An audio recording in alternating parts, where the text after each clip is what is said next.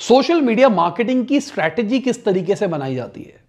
अगर मैं अपनी बात करके चलूँ, मेरे पास में कोई क्लाइंट आया उसके लिए हमको सोशल मीडिया की मार्केटिंग की स्ट्रैटेजी बनानी है तो सबसे पहले तो मैं उससे समझूँगा कि उसका प्रोडक्ट क्या है, ठीक है? और वो प्रोडक्ट किसके लिए है? मतलब उसकी ऑडियंस कौन है? लड़का है, लड़की है, कहाँ रहते हैं, परचेजिंग पावर कैसी है, ठीक है? पहले ऑडियंस को समझूँगा, उसके बाद उनके प्रोडक्ट को समझूँगा। उनका प्रोडक्ट है उसके अंदर क्या खासियत है? क्या ऐसा अलग है उस प्रोडक्ट के अंदर? किस प्राइस ब्रैकेट के अंदर आता है? फिर मैं इनके कॉम्पिटिटर से उसको कंपेयर करके देखूँगा। जो वो काम कर रहे हैं, इनके कॉम्पिटिटर कैसे कैसे कर रहे हैं?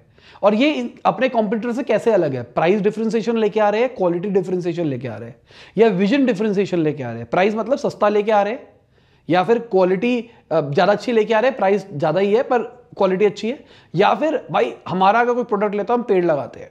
विजन लेके आ रहे हैं। अगर हमारा कोई प्रोडक्ट लेता है तो भाई हम लड़कियों को पढ़ाते हैं। आपका पैसा शिक्षा के अंदर जाता है, आपका पैसा डैश जगह पे जाता है। तो सबसे दूसरी चीज़ मैं ये समझने की कोशिश करता हूँ कि वो जो क्लाइंट आया है, उसके प्रोडक्ट के अंदर ऐसी क्या वैल्यू है, ठीक है? उसके बाद इन दोनों चीज़ों को समझने के बाद में उनका मैं गोल अंडरस्टैंड करता हूँ कि सोशल मीडिया पे काम तो कर लेगे भाई। आपको गोल क्या है? सेल चाहिए ब्रांडिंग चाहिए। तो बहुत सारे लोग आते हैं जिनका कहना होता है कि भाई स्टार्टिंग में सेल चाहिए। मेरा पर्सनली मानना है कि सोशल मीडिया के अंदर पहले आपको ब्रांड बनना है, उसके बाद सेल्स निकलनी शुरू होती है। अगर आप लॉन्ग टर्म विजन पे जा रहे हो, अगर आप ऐसा प्रोडक्ट निकाल रहे हो कि बस आजकल बेचो और निकलो और गाय हो जाओ तो बात अलग है। पर अगर आप लॉन्ग टर्म विजन पे सोच रहे हो तो आपको ब्रांड बनना है। अगर ब्रांड बनना है तो आपको ब्रांडिंग स्ट्रैटेजी बनानी पड़ेगी। क्योंकि दोनों की स्ट्रैटेजी एकदम अलग है, मेरा मानना है। अगर आपको सेल्स स्ट्रैटेजी के ऊपर जाना है तो सेल्स स्ट्रैटेजी के ऊपर आपको प्रोडक्ट की सीधा ऐड चलानी है। प्रोडक्ट के बारे में थोड़ा सा बताना है और बेचना है। यहाँ पे बहुत ज़्यादा एक्सपेंसिव प्रोडक्ट्स नहीं बिकेंगे, यहाँ पे एक नॉर्मल रेंज के प्रोडक्ट बिकेंगे। और ज़रूरी नहीं है कि मेरे को अगर सेल्स स्ट्रेटेजी पे जाना है, मुझे सोशल मीडिया ही पकड़ना पड़ेगा। हो सकता है मैं एस भी साथ में पकड़ूँ एफलेट मार्केटिंग भी पकड़ूँ और मैं गूगल एड्स भी पकड़ूँ। वर्सेज अगर मैं ब्रांडिंग की बात करके चलता हूँ तो ब्रांडिंग का गोल क्या है? हमको हमारे कस्टमर के दिमाग में छा जाना है।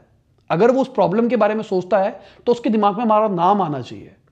फ्यूचर में और over the period of time positioning होनी शुरू हो जाए। पोजिशनिंग का मतलब वो हमारे ब्रांड को सबसे बेस्ट ब्रांड मानना शुरू कर दे इस स्पेसिफिक कैटेगरी के अंदर। तो इसके लिए करना क्या पड़ेगा? इसके लिए उसके दिमाग में रिकॉल क्रिएट करना पड़ेगा और ट्रस्ट क्रिएट करना पड़ेगा।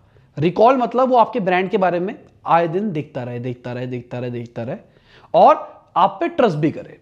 ट्रस्ट कैसे करेगा? देखो सिंपल सी बात, आज का एक बहुत अच्छा तरीका हो गया इन्फ्लुएंसर मार्केटिंग अगर क्लाइंट के पास बजट है तो मैं उसको रिकमेंड करूँगा इन्फ्लुएंसर मार्केटिंग इन्फ्लुएंसर्स को अप्रोच करो, उनको पैसा दो और वो आपकी एड डालेंगे, वो आपके प्रोडक्ट के बारे में बताएँगे तो उनका ट्रस्ट आपके प्रोडक्ट में आ जाएगा और वो प्रोडक्ट अपने आप ही लोगों तक पहुँचने लग जाएगा। आइडली कोशिश करो कि अगर आपको पाँच इंटीग्रेशन करने हैं तो पाँचों एक ही दिन, एक ही टाइम पे करो, ताकि, और वो सेम टाइप के कंटेंट क्रिएटर्स पे करो, ताकि ये ऑडियंस वाली बंदा इसको भी देखता है, इसको भी देखता है, इसको भी देखता है, इसको भी देखता है। तो चार को देख रहा है पाँचवें को नहीं देख रहा है एग्ज़ाम्पल के लिए। तो चारों से उसको एक ही सिग्नल मिल रहा है तो ज़रूर आपके पास जाएगा। आपकी वेबसाइट पर जाए, उसके बाद उनको रिमार्केट करना शुरू करो, उनको अपने प्रोडक्ट के बारे में और बेहतर समझाओ।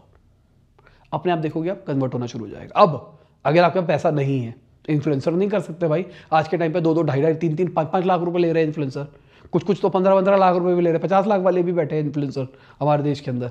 तो इन्फ्लुएंसर के पास आपके पास पैसा देने के लिए नहीं है एग्ज़ाम्पल के लिए। दूसरा तरीका क्या है? सोशल एड्स चलाओ। एड्स तो चला सकते हो ना। इन्फ्लुएंसर क्या करेगा? खुद बोलेगा। यहाँ हम नहीं बोलेंगे। यहाँ अपनी ऐड चलाएँगे। यहाँ क्या करो? आप एज अ फाउंडर अगर आप चाह, चाहते हो तो अपना चेहरा दिखाओ और लोगों को बताओ आपका प्रोडक्ट कैसे अलग है। वीडियो बना के डालो। अपने कस्टमर्स की रिव्यूज़ डालो। अपने प्रोडक्ट के बारे में डालो। अगर आप केस स्टडीज़ बना सकते हो अपने प्रोडक्ट के बारे में, वो बना के डालो। और उसको मार्केट करो। हाँ इफ़ेक्ट जो स्पॉन्सरशिप से आएगा, वो बहुत तेज आएगा, क्योंकि पैसा भी लगेगा। पर अगर हम सोशल के इस तरीके से बात करके चलते हैं तो धीरे धीरे आएगा, पर बहुत अच्छा आएगा और लॉन्ग टर्म आएगा।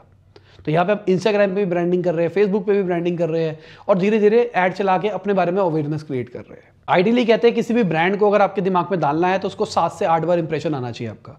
मेरा मानना है कि एटलीस्ट अगर ब्रांड बनना है तो पंद्रह बार भी इंप्रेशन आए तो बहुत बढ़िया है। मतलब अगर मैं अपनी वीडियो की बात करके चलूँ, अगर किसी ने मेरी एक वीडियो देखी है ना तो ज़रूर नहीं है कि वो मेरा फ़ैन टाइप्स बनेगा या फिर मैं उसको कल को प्रोडक्ट बेच पाऊँगा। पर किसी ने अगर मेरी पाँच छः वीडियो देख ली ना, बस कहीं खत्म। मुझे और कुछ करने की ज़रूरत नहीं है। काम हो गया मेरा। और किसी ने अगर पंद्रह देख ली ना, उसके बाद जो दूँगा ना मैं उसको, वो मेरे पे भरोसा करेगा क्या भाई, ठीक है, आप कह रहे हो तो सच बात है। पर अगेन, पंद्रह वीडियो के अंदर आपको ट्रस्ट भी गेन करना है। धोखा करके नहीं कर देना। भाई चॉकलेट लाया हूँ मैं आपके लिए। वीडियो देखो, मैं आपको पाँच करोड़ रुपए की चॉकलेट फ्री दूँगा। ऐसे वाली बात नहीं करनी है, पर आपको वैल्यू क्रिएट करनी है।